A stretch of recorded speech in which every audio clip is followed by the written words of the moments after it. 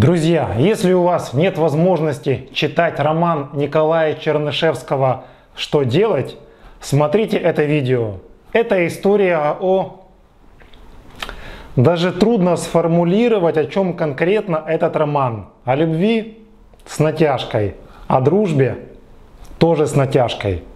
Скорее о видении автором нового экономического и социального устройства России XIX века – Писал Роман Чернышевский, находясь в одиночной камере тюрьмы. Там еще были проблемы с изданием. В общем, в те времена роман наделал приличного шороха. Итак, утром 11 июля 1856 года работники одной петербургской гостиницы чутка нервничали. Накануне к ним заселился некий мужчина и попросил разбудить его в 8 утра. Вот только когда в 8 утра постучали в его дверь, никто не ответил. Стучали громко и несколько раз. Ноль реакции. Вызвали полицию. Те выломали дверь. Комната была пустой. На столе лежала записка. Ухожу в 11 вечера и уже не вернусь. Меня услышат ночью на Литейном мосту. Никого обвинять не нужно. Теперь все ясно, сказал полицейский. Сегодня ночью на Литейном мосту кто-то застрелился, но тело пока не нашли. А к вечеру нашли простреленную фуражку, которая принадлежала тому мужчине из гостиницы. Сначала решили, что он был дураком, раз стрелялся на мосту. А потом поняли, что это было даже умно. Ведь если бы от выстрела было только ранение, то самоубийца мог сразу утонуть в реке. В это же время, около полудня, на своей даче сидела девушка Вера и что-то вышивала. Служанка принесла ей письмо. Вера прочитала и зарыдала. «Что я наделала?» – говорила она сквозь слезы. Вошел парень, чтобы утешить ее. Он сам прочитал письмо и побледнел. «Я был лишним, я ухожу. Люблю вас обоих. Прощайте». «Это все из-за тебя, я не могу тебя видеть!» – кричала Вера истеричка. «Я от тебя уйду!» «Нет, это я виновата!» И все равно нам нужно расстаться, так будет правильно. Я уеду из Петербурга, буду преподавать пение или стану гувернанткой. А если с деньгами будет грустно, ты мне их дашь. Завтра я буду уже в Москве, там все обдумаю и решу, что делать дальше. Ну а теперь о самой Вере. У нее было самое обычное воспитание. Выросла она в многоэтажке на Гороховой. Это был доходный дом, и управляющим в нем работал отец Веры, Павел Розальский. Жил вместе с женой Марией и двумя детьми, уже взрослой Верой и девятилетним Федей. Кроме того, отец давал людям деньги под залог. Жена Мария тоже была предприимчивой и тоже раздавала кредиты. Бюджеты у них были отдельные, у каждого свои деньги. Марья мужа не уважала, считала все его карьерные достижения своей заслугой, называла его дураком, ослом, свиньей, подлецом или дерьмом. В общем, семейка, ну его нафиг. Когда Вере исполнилось 16 лет, мать начала подыскивать для нее жениха. Она наряжала Веру, водила ее в театры, и ухажеры стали появляться. Так сын хозяйки дома, офицер Михаил Старешников, положил на Веру глаз. И Марья всячески подталкивала дочь, чтобы та с ним сошлась. А Вере он был неинтересен. Понимала, что у мажора не было серьезных намерений. Он всего лишь хотел развлечься с цыганкой. Так как Вера была смуглой, ее иногда называли цыганкой. Как-то Старешников встретился с друзьями и чтобы произвести на них впечатление, стал говорить, какие у Веры классные сиськи. Врешь ты, она тебе не любовница, ты ей неприятен, сказали ему. У Старешникова сразу пукан взорвался. Да я, да я, Вера моя любовница. Не вопрос, докажи. Приходи с ней завтра на ужин, там увидим. Если не придешь, то станешь балаболом, и тогда тебе не место в нашем обществе. Старешников шел домой и пытался решить задачку, которую сам себе поставил. Вроде бы решил. Днем он пришел в гости к Розальским. «Как ваше здоровье, Вера? Все хорошо? Чтобы было еще лучше, можем сегодня вечером съездить за город. Только втроем, я, вы и ваша мама». Вера ответила ему на французском, чтобы мать не понимала. Вчера в театре вы перед друзьями хвастались, что я ваша любовница. Это низко и недостойно человека чести. Поэтому, пожалуйста, впредь не ходите сюда. Со мной у вас никаких шансов. Униженный Старешников вынужден был уйти. Мать была очень зла на дочь. Вере же было все равно. Во время хвастовства и пари Старешникова среди его друзей отдыхала француженка Жюли, бывшая проститутка. Она пришла со своим парнем Сержем. Девушка слышала о гнусных разговорах насчет Веры и сегодня приехала, чтобы предупредить Веру обо всем. С собой взяла Сержа. Жюли поговорила с Верой, поняла, что девушка себя в обиду не даст. Серж рассказал матери Веры о пари Та долго возмущалась. Жюли понимала, что своим обществом компрометирует Веру, и все же сказала, что им нужно будет встретиться еще. Жюли написала письмо Старешникову, в котором попросила его прийти к ней. Парень видел в этом приглашении спасение для себя в той ситуации, в которой оказался. «Значит, дело так», – начала Жюли. Я могу отменить тот ужин, на который вы должны были привести Веру. А если нет ужина, нет и вашего дурацкого пари. За это вы выполните два моих условия. Первое. Вы прекратите домогаться Веры. Второе. Вы прекратите говорить о ней. Старешников с радостью принял предложение Жюли. На следующий день Вера и Жюли встретились в условленном месте. Жюли рассказала о вчерашнем разговоре со Старешниковым. Теперь будьте готовы, что он сделает вам предложение. Такие, как он, всегда так поступают, когда их отвергают. Советую выйти за него. Это будет вам очень выгодно. За Старешникова никогда был ответ Веры. Я хочу жить той жизнью, которую сама выберу. Тем временем Старешников уже решил, что женится на Вере. Не получилось сделать ее любовницей, значит станет моей женой, думал он. Через неделю Старешников пришел к матери Веры и сказал, что хочет жениться на ее дочери. Маме было приятно, она уже думала, что ничего не получится, а тут он сам пришел. Вера сразу сказала родителям, что за Старешникова никогда не выйдет. Те кричали, обзывали Веру, но девушка держалась твердо. Там еще служанка Матрена накосячила. Как только она узнала, зачем приходил Старешников, она сразу доложила хозяйке дома Анне, что ее сын Михаил сватался к Вере. Та в шоке, категорически против этого, возмущается, что сын не спросил ее согласия. Ты собрался жениться на дряни. Анна пошла к отцу Веры. Паша, что за фигня? Я решительно против брака Миши с Верой. Анна, Вера очень воспитанная девушка. Она так и сказала, что без вашего согласия не согласится выйти за Михаила. Анна была счастлива это услышать. На радостях она повысила Павлу зарплату и отдала одну квартиру для получения ежемесячной аренды. Марье подарила платье, а Вере часики. Затем пошла к сыну и торжественно ему заявила, что даже дрянная любовница Вера уважает ее мнение. Мишаня сразу побежал к Вере ныть. Она ему еще рассказала, что замуж за него не пойдет, но Старешников вымолил у нее не окончательный отказ, а только отсрочку отказа. Не отказывайте вот так сразу, дайте мне время заслужить ваше прощение. Как пожелаете, все равно это ничего не изменит. Михаил был счастлив получить отсрочку отказа. а мать Веры терялась в догадках. Она не могла понять, Вера на самом деле не хочет за Старешникова или так тонко играет с ним, чтобы извести его и подчинить себе. Михаил страдал.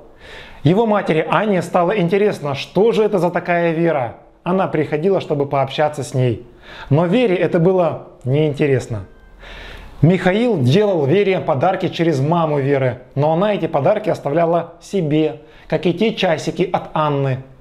Чтобы Михаил видел на Вере хоть какие-то свои подарки, мать говорила дочери, что это вещи, которые остались невыкупленными из-под залога. Михаил ничего не понимал. По его мнению, Вера подарки принимала, но его к себе не подпускала. Так тянулось 4 месяца. И неизвестно, сколько бы еще длилось, если бы не новые обстоятельства. Для подготовки к гимназии младшего брата Веры Феди родители пригласили учителя. Им оказался медицинский студент Дмитрий Лопухов. И вот Вера с ним познакомилась. Парень был приятным во многих отношениях. Зарабатывал нормально. Снимал вместе с другом Александром Кирсановым квартиру. Лопухов хотел работать врачом в военном госпитале. Был нормальным парнем, не ботаником. Однажды мать Веры пригласила Дмитрия на день рождения Веры. Конечно же, он пришел. Он несколько раз танцевал с девушкой, они много говорили. Вера поняла, что у них с Дмитрием много общего, и он полюбил Веру. В следующий визит Дмитрия Марья, мать Веры, стала расспрашивать его о жизни, о родственниках, о планах на жизнь, есть ли у него девушка. То есть Марья хотела убедиться, что учитель не представляет опасности для ее планов женить Веру на Старешникове. Есть богатая невеста, помолвлен, соврал ей Дмитрий. Вере сказал то же самое. Марья успокоилась, но все же присматривала за Дмитрием. Однажды она специально подслушала разговор Дмитрия и Веры. «У меня есть жених, который богат, но которого я терпеть не могу. Как мне поступить?» – спросила Вера у Димки. «Так, как вы посчитаете нужным, и никто не посмеет вас в чем-то упрекнуть. Вы примите свое взвешенное решение». Успокоилась Марья, услышав такие разговоры но развитию их отношений уже ничто не могло помешать. Вера рассказала Дмитрию, что ей невыносимо тяжело жить с родителями. Я бы хотела стать актрисой или гувернанткой. Главное жить отдельно от родителей. Дмитрий сразу узнал насчет актерства. «Лучше станьте гувернанткой», – сказал он Вере и по ее просьбе начал искать для нее подходящие варианты. Он дал объявление в газете – Заявок поступило очень много, но интересного варианта, который бы полностью подходил Вере, не было. О поисках Дмитрий рассказал своему другу Александру Кирсанову. «Девушка того стоит?» – спросил он. «Да, стоит». «Тогда ищи». Приснилось как-то Вере, что она была заперта в сыром темном подвале, а потом выбралась в поле. И так ей приятно было – Вдруг оказалось, что она разбита параличом. Какой-то мужчина коснулся ее, и она снова выздоровела. А затем Вера начала и другим девушкам помогать выбираться из подвалов. Вот такой сон. Тем временем друзья Лопухова, узнав от Кирсанова, что Лопухов ищет девушке место гувернантки, помогли ему. Лопухов приехал к женщине, которая была рада принять в своем доме Веру, но когда Дмитрий рассказал, что Вера бежит от навязываемого матерью жениха, женщина передумала. Ее мать так просто не отпустит дочь. Если она хочет выдать ее за богатого жениха, начнутся проблемы, суды, разбирательства, а мне они точно не нужны. Так что извините. Дмитрий вынужден был согласиться с причинами отказа. Он понял, что в такой ситуации никто не захочет взять к себе веру. Нужен был новый план. Вера очень расстроилась. Даже появились мысли покончить с собой. Димка все придумал. Через три месяца я окончу академию, стану врачом. Будет тяжело, но мы справимся. Справимся, соглашалась Вера. Я ведь тоже буду работать, давать уроки фортепиано. Если я не стану сама зарабатывать, то стану зависимой от тебя. А этого я не хочу. Мы будем жить так. У тебя будет своя комната, а у меня своя. Я не буду входить в твою, а ты в мою. Общаться будем в нейтральной комнате. Я не стану лезть к тебе с расспросами, а ты ко мне. Если посчитаем нужным, то сами расскажем друг другу. Вот так мы с тобой счастливо заживем. Друзья, автор в этом месте вообще упустил тот факт, что Вера никак не отреагировала на наличие у Лопухова невесты. То есть они общались так, как будто они оба свободны. Но ведь Вера знала, что у Димона есть невеста. В общем, косяк автора. Вера считала дни до той даты, когда Дмитрий обещал ее забрать из ненавистного дома до 10 июля. Сейчас был конец апреля. Нужно было потерпеть еще чуть-чуть. И вот как-то собралась Вера на свидание к Дмитрию. «А ты куда?» – спросила мать. «На Невский проспект». «О, и я с тобой». Идут они вдвоем, и тут Вера говорит матери, что она должна к мужу пойти. И в это время уже садилась к извозчику. «Мы с Дмитрием повенчались, он завтра к вам придет. Меня сегодня не ждите». Мама стояла, тупила и нифига не понимала. Повенчал молодых студент-медик, который ранее уже успел стать священником. Дмитрий решил даже не оканчивать академию. Попросил Кирсанова найти для него трехкомнатную квартиру. Перед венчанием в церкви Дмитрий познакомил Веру с другом Кирсановым. Друзья, готовы к спойлеру? Это хорошо. Кирсанов заменит Лопухова в браке с Верой, но это еще будет не скоро. После свадьбы Вера поехала домой, потому что квартиры Димон еще не нашел. А дня через два уже и подыскал. Так что Вера спокойно оставила мать саму на улице и поехала в новую квартиру к мужу. А мать после того, как пришла в себя, начала громко ругаться. Стала искать извозчика, чтобы тот догнал беглянку.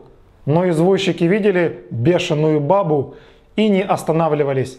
А Марья от этого еще больше бесилась. Марья думала, как ей поступить с Дмитрием, когда он придет к ним. Думала нанять двух дворников, чтобы они его, вот, в общем, побили. Или проклясть дочь, или в суд подать. Когда пришел Лопухов, Марья сразу рот открыла. Вот только Дмитрий ей сразу сказал, что не станет разговаривать, если она не успокоится. Та сразу заткнулась. Значит так, дорогие родители, за Старешникова Вера никогда бы не вышла. Вы и сами это знаете. А выдавать дочь замуж нужно. Никакого приданого нам от вас не надо. Никаких расходов на свадьбу у вас не было. Радуйтесь. Расстались мирно. Время шло. Три месяца молодые жили сами. Все у них было хорошо. Оба работали. На двоих получали 80 рублей в месяц. Не фонтан, но хватало.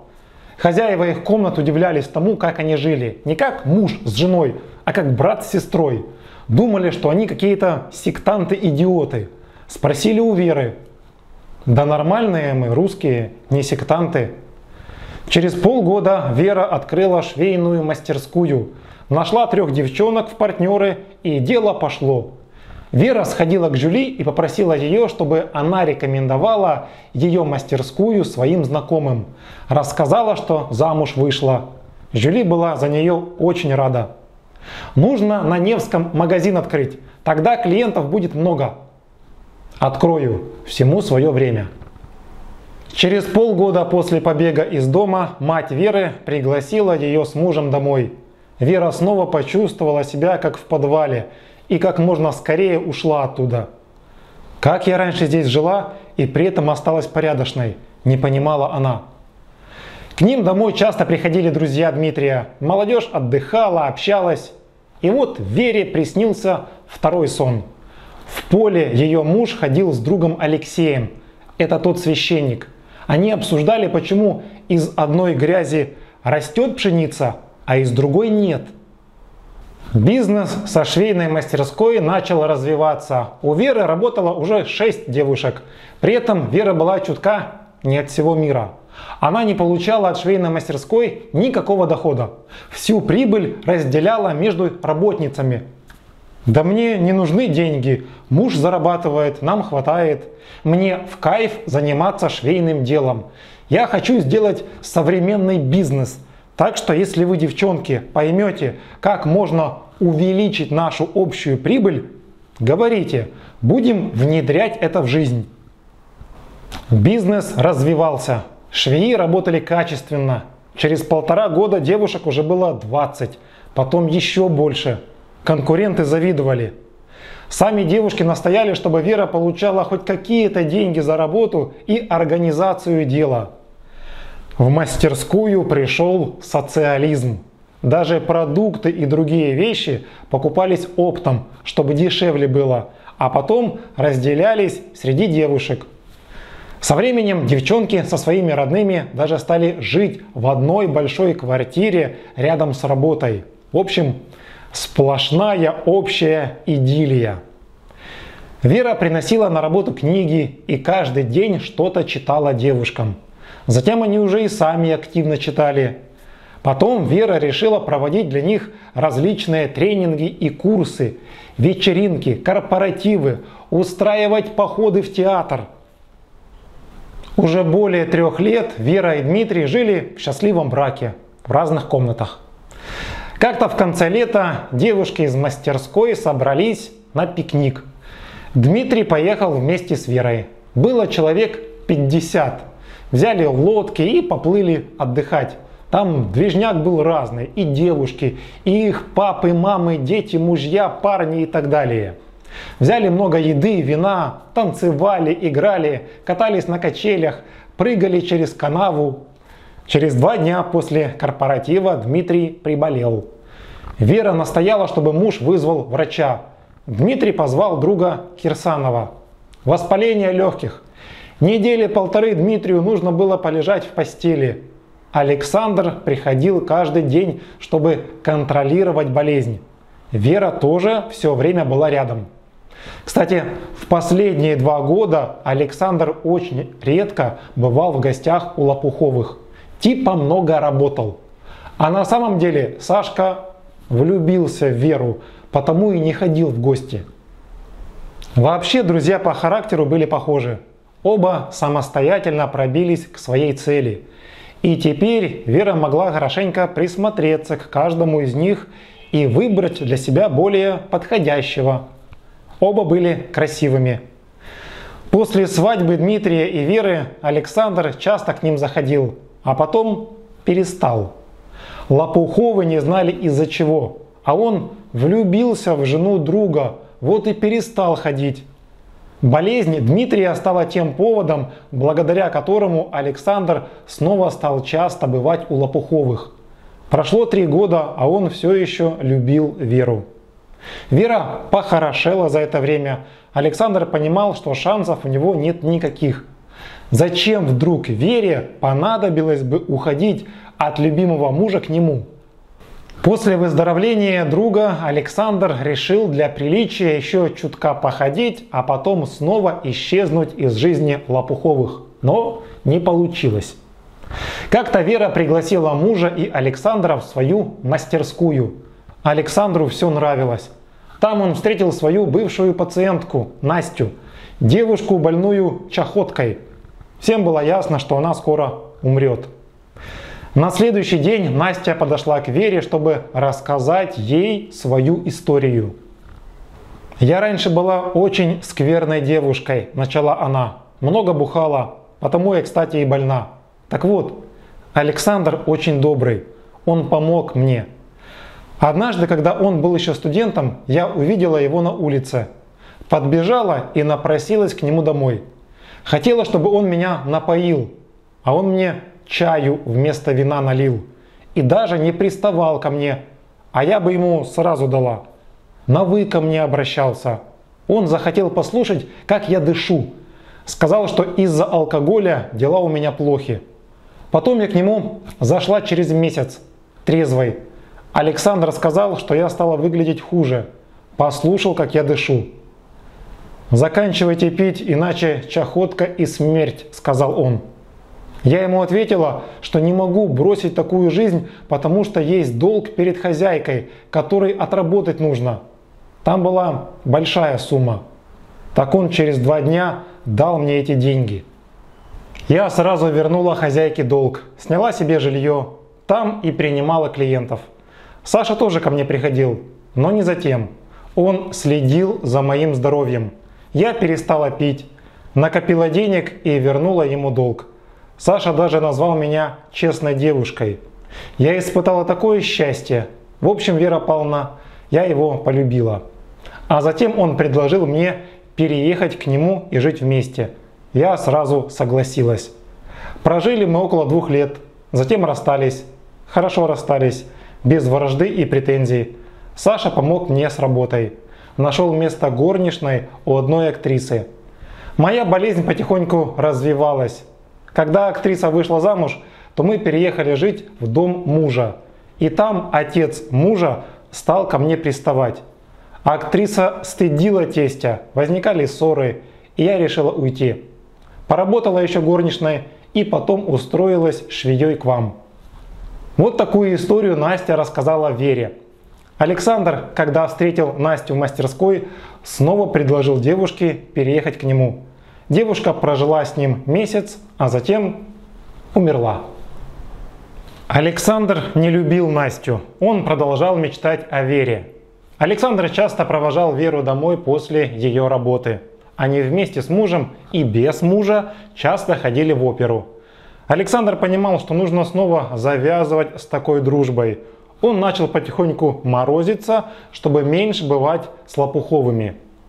И тут Вере приснился Третий сон. К ней приехала известная оперная певица Бозио. Она попросила Веру почитать ей ее дневник. Вера начала читать, хотя в реальной жизни у нее дневника не было. И вот в этом дневнике Вера прочитала, как она написала, что сомневалась в том, за что она полюбила Дмитрия.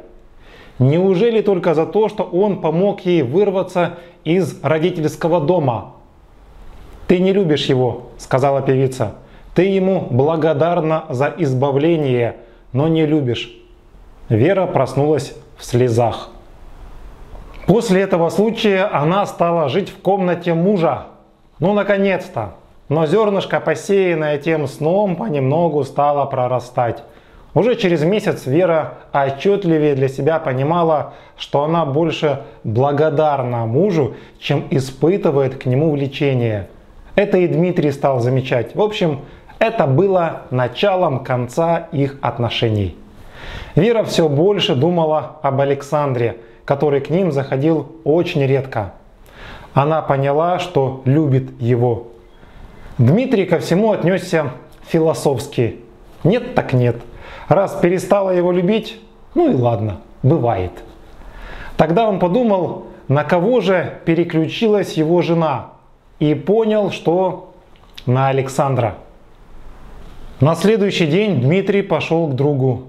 Александр, я все понял. Приходи к нам почаще. А вот Александр не мог понять, какую игру затеял Дмитрий. Саша, ты мой друг, поэтому вполне нормально, что я прошу тебя приходить к нам почаще. В чем проблема? Да есть одна проблемка. Давай сделаем так. Я буду приходить к вам, но ты всегда будешь рядом. Никогда не оставляй меня наедине с Верой. Лады? С тех пор Александр стал приходить к Лопуховым. Вере было приятно. Она иногда просила мужа остаться дома, чтобы вдвоем с Александром сходить в оперу. Но Дмитрий помнил условия договора и тоже ходил в оперу. А однажды Вера вдруг подбежала к мужу села к нему на колени и сказала, «Милый, я люблю Александра, но хочу любить тебя, не хочу тебя обижать. Пусть он больше к нам не приходит». И разревелась. Дмитрий был готов к этому разговору, поэтому был спокоен. Поступай так, как будет лучше для тебя. Я тебя всегда поддержу. Если тебе хорошо, то и мне хорошо. Чтобы отвлечься от всех этих мыслей, Вера ушла в работу. Через неделю Дмитрий предложил жене, чтобы у них дома кто-то поселился и таким образом снизил бы их расходы на жилье, имея в виду Александра. Вера не стала слушать этот бред. Она все еще продолжала бороться со своей новой страстью. Вера не находила себе места. Она написала мужу письмо. «Мой милый, я не могу жить без него. Прости меня». Дмитрий уже давно ожидал или разговора, или письма на эту тему. И все равно было больно на душе. Чтобы чутка развеяться, Дмитрий решил съездить к своим родным в Рязань, которых не видел много лет. В общем, через два с половиной месяца, в середине июля, произошел тот случай с выстрелом на мосту. Поняли, что это был Дмитрий Лопухов? Правильно. После того, как Вера сказала Кирсанову уйти сразу после новости о смерти Дмитрия, к ней пришел их общий знакомый Рахметов, чтобы поддержать Веру. Рахметов был странным чуваком. У него были богатые родители, которые оставили ему и крестьян, и земли. Но Рахметов вел себя так, как будто у него ничего не было. Парню было 22 года. Учился периодически. То поучится, то поедет путешествовать. Был высоким, крепким, занимался такой работой, где нужны были мышцы. Будучи студентом, заслушивался речами Кирсанова – тот и указал ему, какие книжки следует читать. Затем Кирсанов познакомил его с Лопуховым. Рахметов говорил так. «Я не буду покупать какую-то вещь, если у меня нет в ней крайней нужды. Я не буду есть то, что не могут себе позволить простые люди. То есть в Петербурге он ел апельсины, потому что простые люди их тоже ели. А когда уезжал в провинцию, то не ел апельсинов, потому что там простые люди их не ели. Его слабостью были сигары, курить очень любил. Не пил, с девчонками не водился. Знакомился только с теми, с кем сам хотел, других посылал подальше. Однажды всю ночь провел лежа на гвоздях. Хотел проверить, сможет ли. На утро весь был в крови, зато довольный. Как-то Рахметов спас одну девушку, которая потеряла контроль над лошадями. Он остановил повозку, но при этом сам сильно травмировался. Девушка 19 лет, уже вдова, в своем имении ухаживала за ним. Они много общались, влюбились друг в друга. Девушка готова была венчаться с ним, но Арахметов поморозился. «Я не должен никого любить», — сказал он девушке это свяжет мне руки, а я предназначен для чего-то большего. Все, Рахметова проехали. Возвращаемся к роману. Рахметов сидел у Веры дома до позднего вечера, разговаривал, читал в кабинете книги. Вера занималась своими делами, и уже потом Рахметов ей сказал, «У меня для вас кое-что есть. Я не хотел говорить об этом сразу, хотел, чтобы вы успокоились. Я недавно общался с Дмитрием. Он мне все рассказал о своих планах застрелиться. А потом сказал, чтобы я пришел к вам, чтобы поддержать. Потому что он был уверен, что вы будете очень огорчены. Дмитрий в записке написал, что он хотел уйти со сцены. А еще он написал для вас письмо. И оно у меня. Вера была в шоке. Она не могла понять, как Рахметов мог спокойно целый день сидеть у нее дома и не отдать ей письмо. Рахметов продолжил. Еще. Я дам вам только прочитать письмо. Само письмо я вам не оставлю, а потом я его сожгу. Потому что так хотел Дмитрий. И именно поэтому он обратился ко мне, потому что знал, что только я смогу поступить так, как хочет он. Вера, вам все ясно? Ясно. Я согласна, давайте. Рахметов достал письмо. Рука Веры сразу потянулась к нему. руки!» Вера убрала. Письмо было коротким, но Вера читала его минут 15, перечитывала много раз. «Боже, какой он добрый!» Только и сказала она после прочтения. Вера сразу успокоилась. Рахметов сжег письмо. Копию я уже сделал. Если что, обращайтесь. А теперь поговорим. Вы собрались куда-то уезжать. Почему? Потому что здесь все о нем напоминает. Ясно. А 50 человек, работающих в мастерской, что с ними будет? Кого-то попрошу, там все хорошо, я не нужна. Чушь. Никто, кроме вас, там не справится. От вашего «хочу уехать» зависит судьба 50 человек. Вы считаете это правильно? Вера не ответила. Она спросила, почему Рахметов сразу не показал ей письмо. Нужно было, чтобы все вокруг видели вас огорченной. А теперь, после прочтения, вы спокойны. Вы бы не сыграли огорчение, если бы прочитали это письмо раньше. Затем Рахметов объяснил Вере, что их брак с Дмитрием был обречен по той причине, что у них разные характеры, несовместимые, и что Дмитрий первым должен был это предвидеть, ведь он старше Веры и мудрее, но не предвидел. Это его косяк. Он должен был подготовить и вас, и себя к разводу. Не подготовил. Теперь вы страдаете, а он уже не страдает. Прошло какое-то время.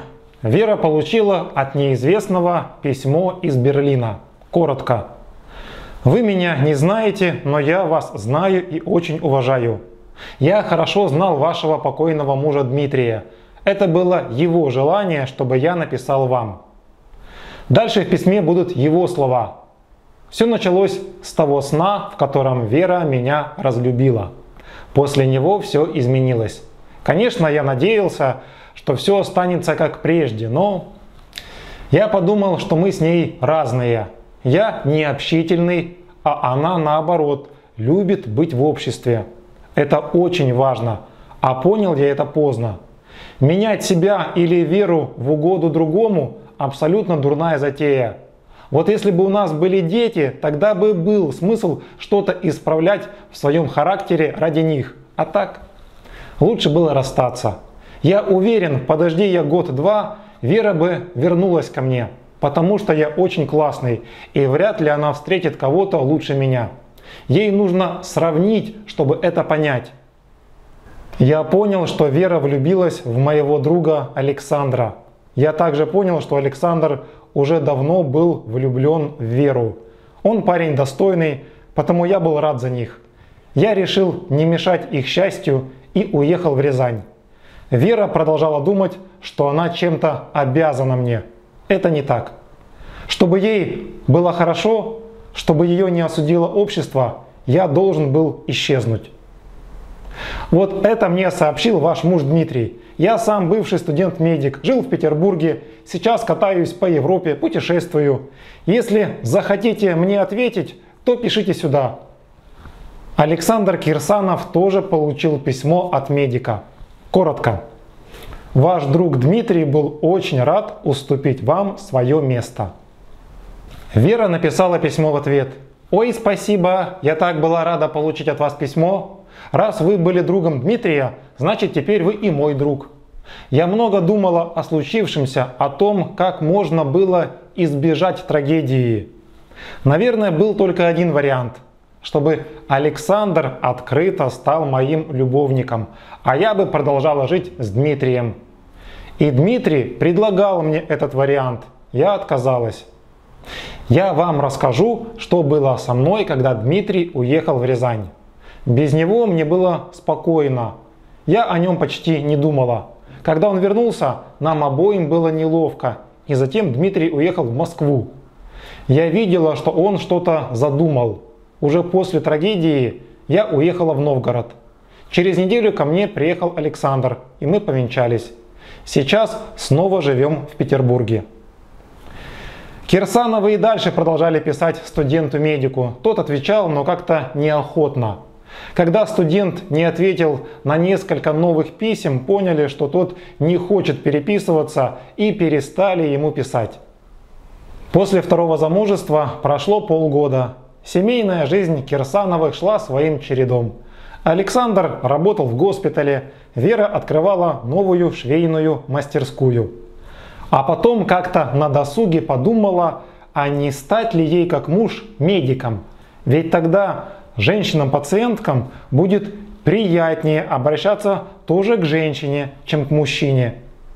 Первым делом Вера поехала с мужем в госпиталь, чтобы увидеть кровь, вскрытие и понять, сможет ли она там работать. Нормально, выдержала. И Вера взялась за медицину.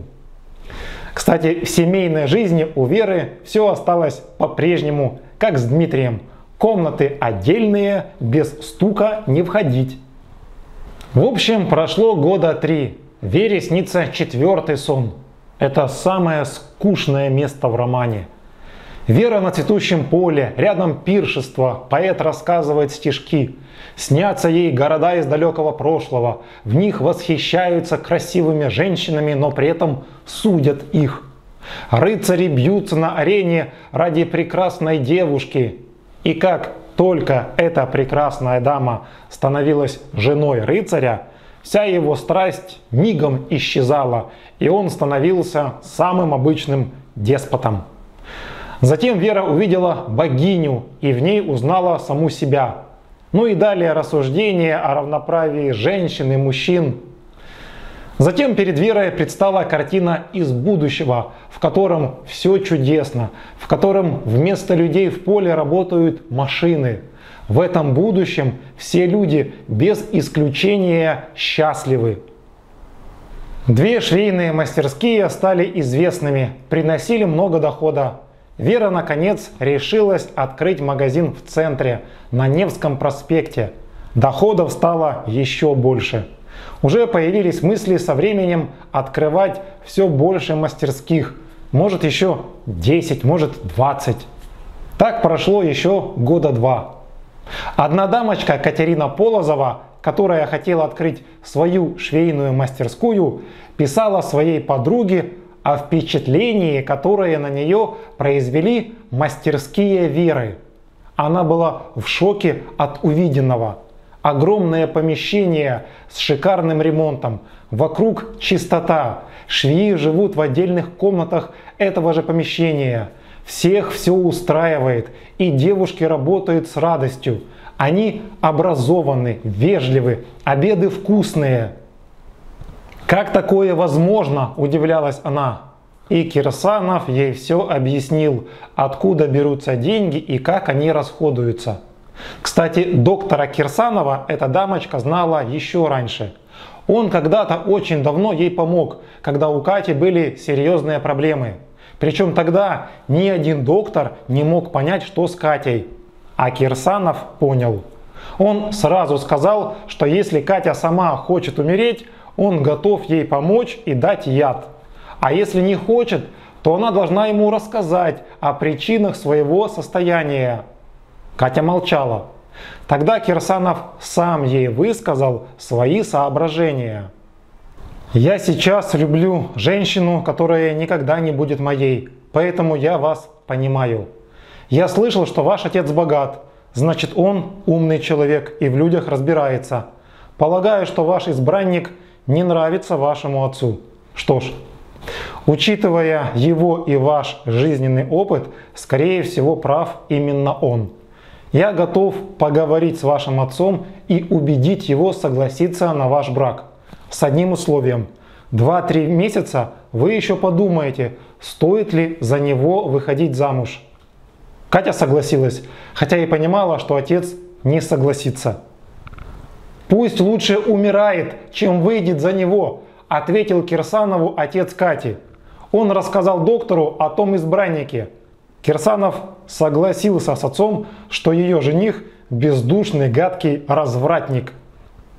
Когда Катя достигла возраста замужества, многие молодые люди стали кружиться возле нее, учитывая богатство ее отца. Отец сразу обратил внимание, что Катя стала больше внимания оказывать одному из них, Соловцову. Катя, будь осторожна, Соловцов самый настоящий козел. Послушная дочь согласилась с отцом. А Соловцов, когда увидел, что ему ничего не светит, приложил все усилия, чтобы Катя в него влюбилась. И молодая дуреха влюбилась. Понимая, что отец никогда не одобрит ее выбор, девушка начала терять силы и желание жить, потому и заболела. Кирсанов предложил отцу сделать так, чтобы Катя сама убедилась, что Соловцов дурной человек. Она его страстно полюбила из-за того, что любовь была запрещена. А когда ей все разрешат, Катя сама откажется от него. Нет, фигня. Пусть лучше умрет, чем она будет страдать с таким уродом, твердил отец. Кирсанов не ожидал, что отец будет таким упрямцем. Он кое-что придумал. На совете докторов он доказал, что смысла лечить больную уже нет, что нужно ей дать такую дозу морфия, после которого она уже не проснется. Об этом решении заявили отцу Кати, Услышав этот приговор, он сразу уступил, согласился на предложение Кирсанова, чтобы попытаться спасти дочь. Затем Кирсанов наедине дал отцу ценные указания. Не мешайте своей дочери самой убедиться, какой Соловцов козел. Насчет него молчите, пусть сама поймет это. Отец согласился. Он пригласил Соловцова и сказал ему, что согласен на свадьбу через три месяца. Катя сразу пошла на поправку. Кирсанов приезжал в гости и потихоньку обрабатывал ее. Он заводил с Соловцовым разговоры, в которых тот выдавал свою натуру. И у Кати начала спадать пелена влюбленности.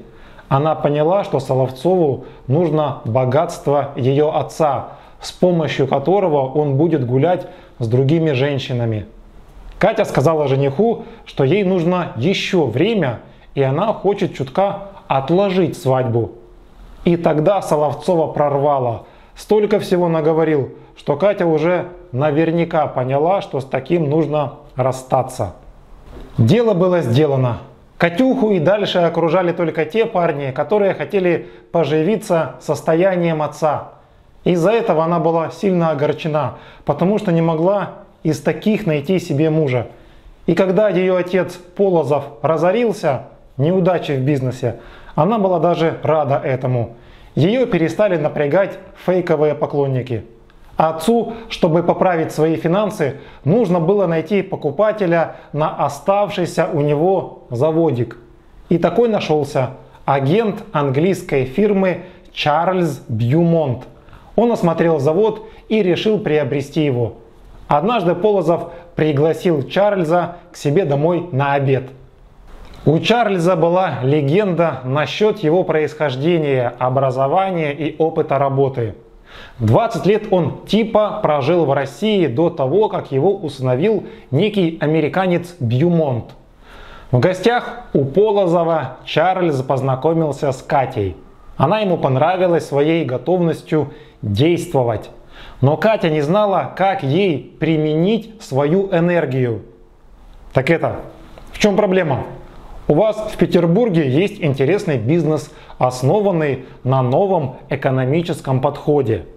Это швейные мастерские госпожи Кирсановой. Катя была рада услышать фамилию доктора, который когда-то ей помог. На следующий день она сразу же поехала к Вере знакомиться и была в полном восторге. Чарльз расспрашивал Катю о Кирсановых. Он стал часто бывать у Полозовых. От Кати узнал, что у Кирсановых все хорошо, что они любят друг друга. Больше о них Чарльз не спрашивал. Сделка между англичанами и Полозовым по продаже завода состоялась. Все было хорошо. Сам Полозов понимал, что Чарльз и Катя вскоре поженятся. Молодые тоже это понимали. Вот только в их отношениях не было страсти. Все было как-то слишком спокойно, как у брата с сестрой. В общем, свадьба намечалась на ближайшее время. Катя поехала рассказать об этом Вере. Я замуж выхожу за Чарльза. Он давно знает вас и вашего мужа и давно хотел с вами встретиться. Вот только хотел это сделать не сам, а уже со своей невестой, потому что, по его словам, вам от этого будет приятнее. В общем, семьи познакомились, решили вместе искать квартиры, которые были бы рядом, чтобы часто видеться и общаться. Катя открыла свою швейную мастерскую, родила сына. Вере предстоит экзамен на медика. У Кирсановых и Бьюмонтов все хорошо. На этом все, друзья. Почти все. Автор об этом напрямую не пишет, но почти все сходятся во мнении, что Чарльз Бьюмонт это и есть Дмитрий Лопухов, который инсценировал свое самоубийство на мосту, уехал в Америку, а затем снова вернулся в Петербург.